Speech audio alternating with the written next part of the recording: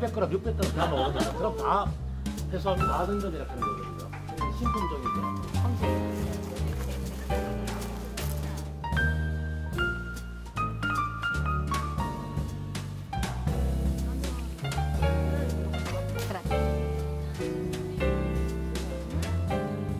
보통 저희가 슈퍼에서 사 먹을 때는 비싸가지고 많이 못 먹었는데 여기서 체험도 하고 먹으니까 너무 맛나고요. 상놈체리 많이 사랑해주세요. 아.